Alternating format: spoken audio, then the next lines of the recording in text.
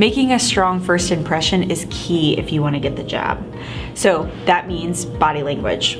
Make sure you give a great, strong handshake and make eye contact and smile when you first meet your interviewer. When you go into the room to interview, make sure you sit facing them with your hands on the table and have good posture. Those are basics. Uh, next, make sure that the interviewer is leading the conversation, not you. They need to have control. They're the ones interviewing you, so give them the opportunity to do that. Lastly, you want to make sure you're personable but still formal and professional.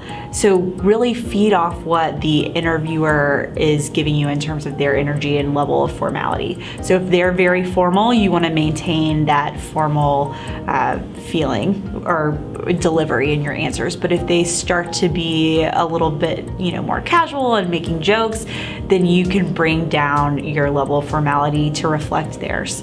Uh, also, be confident. You've gotten this interview for a reason.